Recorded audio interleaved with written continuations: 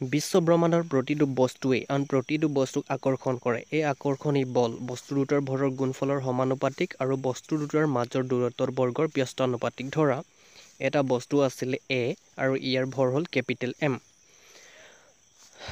আৰু আন এটা বস্তু বি আৰু ইয়াৰ ভৰ হ'ল স্মল এম আৰু সিহঁতৰ মাজৰ দূৰত্ব ডি বুলি ধৰি লোৱা হ'ল।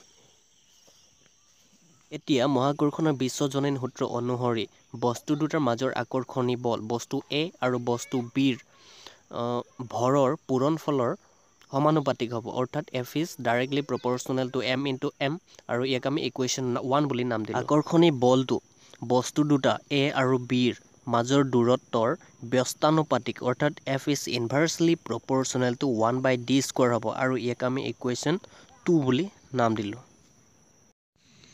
এতিয়া সমীকৰণ এক আৰু সমীকৰণ দুই একেলগে কৰি আমি পাওঁ যে F proportional to M into M divided by D square capital M হৈছে এ বস্তুটোৰ ভৰ আৰু স্মল এমটো হ'ল বি বস্তুটোৰ ভৰ আৰু ডি হৈছে এ আৰু বি বস্তু দুটাৰ মাজৰ দূৰত্ব। এতিয়া যদি আমি সমানুপাতিক চিনটো আঁতৰাবলৈ লওঁ তেতিয়াহ'লে ইয়াত এটা ধ্ৰুৱক আহিব সেইটো হ'ল জি যিক মহাকৰ্ষণৰ বিশ্বজনীন ধ্ৰুৱক বুলি কোৱা হয়। আৰু ইয়াৰ এটা নিৰ্দিষ্ট মান আছে। আৰু সেই মানটো হ'ল জি সমান six point seven into ten to the power minus eleven newton metre square KG to the power minus two ইয়াক এটা উদাহৰণৰ সহায়ত বুজা যাওক। ধৰা ইয়াত কুৱেশ্যন এটা দিয়া আছে যদি পৃথিৱীৰ ভৰ six into ten to the power twenty four KG আৰু চন্দ্ৰৰ ভৰ seven point four into ten to the power twenty two KG.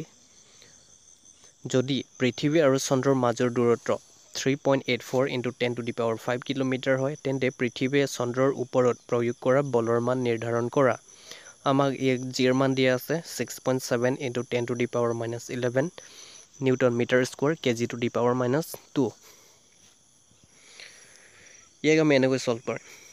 দিয়া আছে পৃথিৱীৰ ভৰ six into ten to the power twenty four KG চন্দ্ৰৰ ভৰ seven point four into ten to the power twenty two KG পৃথিৱী আৰু চন্দ্ৰৰ মাজৰ দূৰত্ব আমাক কিলোমিটাৰ দিয়া আছে আমি মিটাৰলৈ কনভাৰ্ট কৰিব লাগিব গতিকে three point eight four ten to the power five into one thousand আমি পাম three point eight four into ten to the power eight metre আৰু জিৰ মান সেইটো লিখি ল'লোঁ নেক্সট সেইটো হ'ল যে বস্তু দুটাৰ মাজৰ আকৰ্ষণী বল নিৰ্ণয় কৰা ফৰ্মুলাটো এফ সমান G M into M divided by D square. আৰু মান মানবোৰ বহুৱাই পেলাই আমি পালোঁ কিমান? যে two point zero' one into ten to the power twenty newton. বলৰ এককটো হ'ল নিউটন।